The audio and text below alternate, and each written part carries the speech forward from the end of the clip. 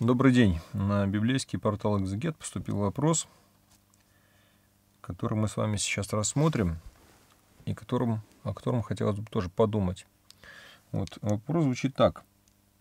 Как на нас влияет наша речь? Речь.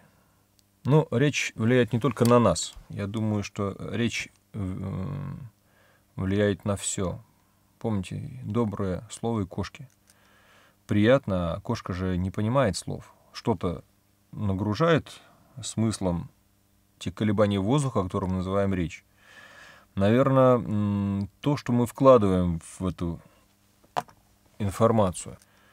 Всякое праздное слово, которое скажут люди, дадут они ответ в день суда, ибо от слов своих оправдаешься и от слов своих осудишься. Вот каждое слово, которое произносится нами в этом мире, оно имеет способность нести нечто. Если э, мы говорим добрые слова, полезные слова, нужные слова, они животворят.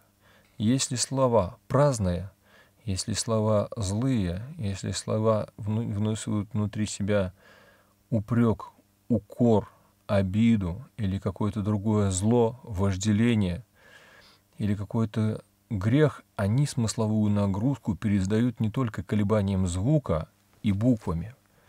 Они смысловую нагрузку запечатлевают либо в человеке, либо в пространстве, либо вместе.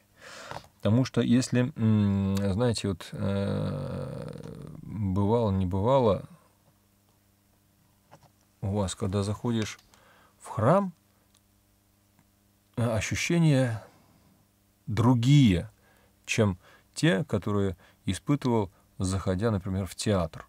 Хотя пространство и объемы, и звуки, и, может быть, даже положительные там спектакли могут быть э, в этом театре, но внутреннее ощущение все равно другое. Слова, которые произносятся здесь, они другие, и нагрузка другая.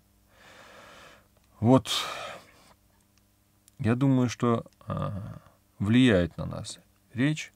Более того, каждое слово надо все-таки обдумывать, и прежде чем сказал вот владыка наш, прежде чем сказать некое слово, помолчи и подумай. Если можно его не говорить, то лучше не говори. Лучше это будет тишина, чем праздность. Празднословие, ну, тоже не самый, э, не самая лучшая добродетель человеческая. Аминь.